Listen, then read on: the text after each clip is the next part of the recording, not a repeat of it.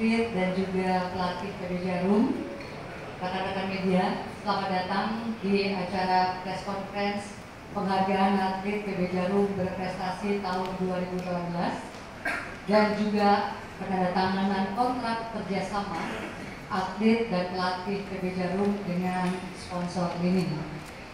Tentu saja pada kesempatan siang hari ini kami ingin mengucapkan terima kasih kepada rekan-rekan media semua undangan yang hadir di sini. Juga tentunya para tamu undangan dan pembicara. Yang pertama adalah Bapak Yopi Rosimin selaku Program Director Bakti Olahraga Jalan Foundation selamat siang Pak Yopi. Pak Yopi ini ada tadi oh iya selamat siang Pak. Mohon maaf nggak kelihatan.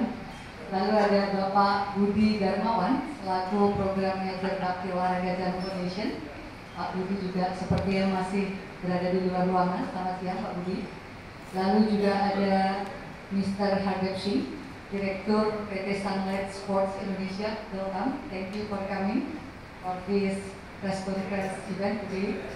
Dan juga ada Ibu Dewi Meina Sakti selaku General Manager PT Sunlight Sports Indonesia. Selamat siang Mbak, selamat datang. Dan juga ada Pak Afif Budiono selaku Marketing Manager Leo. Pak Afif ada di manakah? Oh, masih di luar juga. Oke, selamat datang Pak Afif. Dan juga tentu saja ada Bapak Christian Hadinata. Beliau adalah legenda bulu tangkis Indonesia dan juga pelatih PB Jarum. Selamat siang Bapak Chris, terima kasih sudah datang. Dan juga ada Bapak Lius Pongo yang juga merupakan legenda bulu tangkis dan juga pengurus di PB Jarum. Pak Lius ada di mana? Selamat siang Pak Lius, terima kasih sudah datang dan juga tentunya semuanya kepada para atlet PB Jarum, para pelatih yang sudah hadir di sini. Kesempatan press conference pada siang hari ini adalah tanggal 14 Februari bertepatan dengan Hari Valentine.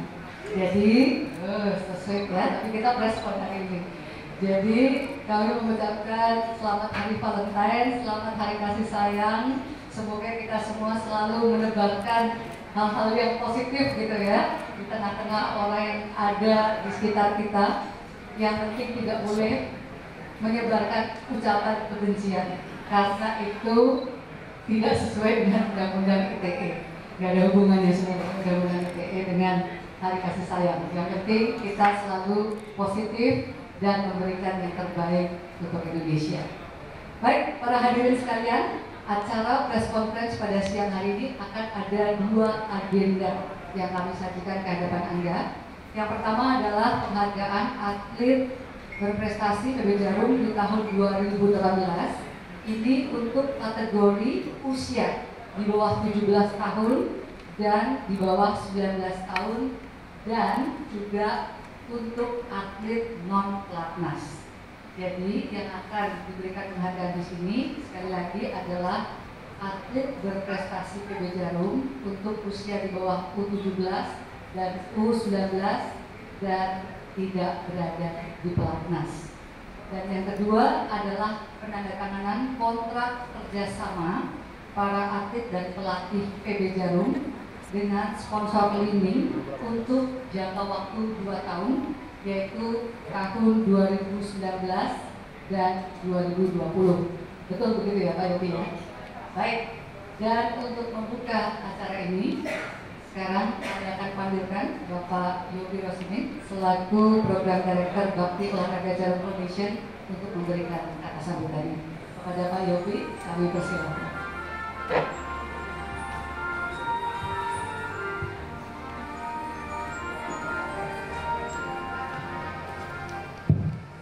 Selamat siang teman-teman kawan adik-adik atlet PB Jarum juga para legenda PB Jarum. Saya senang sekali eh, banyak atlet di tahun 2018 atlet muda kita yang eh, sudah menebar janji prestasi yang akan eh, makin baik di tahun-tahun berikutnya. Jadi kita sudah punya ganda campuran baru yang kemarin menjadi juara eh, dunia junior juga banyak atlet-atlet lain yang sudah banyak malang melintang di uh, ajang Sirnas dan uh, kejuaraan-kejuaraan junior lain. Tidak kalah penting juga saya uh, sangat uh, berterima kasih kepada sponsor karena tanpa sponsor PB Jarum juga uh, akan banyak kehilangan teman. Jadi kita ada sponsor baru, welcome Mining. Semoga tadi sih ngomong dua tahun, tapi mereka mintanya lebih dari itu katanya. Ya kita mudah-mudahan kita bisa lebih lama gitu. Harapannya eh, dengan sponsor yang baru banyak atlet-atlet yang akan semakin bersemangat untuk berprestasi. Mereka sudah pakai warna merah semua semangatnya sudah oke. Okay. katanya jadi dinding juga artinya kita cantik-cantik gitu bener nggak? Bener ya.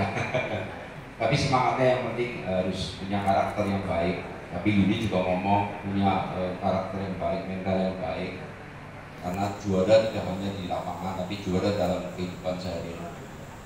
Menghormati sponsor. Jangan lupa nempel logo. Kalau nanti lupa nempel logo saya dimarahin.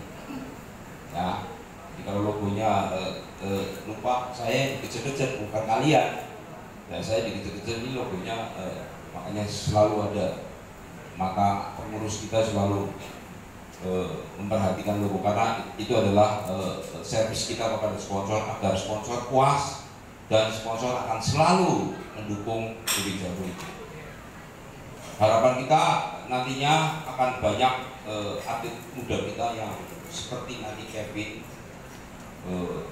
menembus dunia dan selalu uh, ingat bahwa PB Jarum akan support kalian. Ya, terima kasih.